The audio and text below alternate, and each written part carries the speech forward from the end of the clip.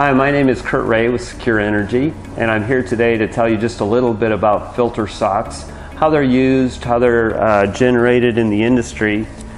As wells are drilled and then fracked, there's water that returns back to the surface, what we would call flowback.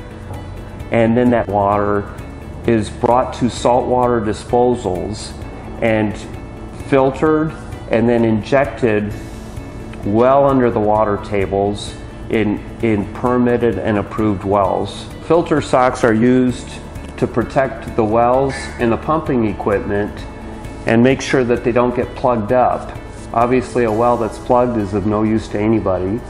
And so these filter socks capture sediment and sand and things that are in the production water to protect the pumps and the injection wells naturally what happens is that we not only collect sand and solid and residuals in these filter socks, but there's naturally occurring radioactive material that comes up from the ground.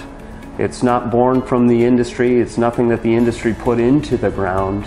It's naturally occurring radioactive material that comes up from the ground with the production water. The operators and service companies have an obligation to manage this special waste uh, through one of the designated outlets to, to secure one of our containment systems at their site and we'll handle all of the transport management and disposal for them.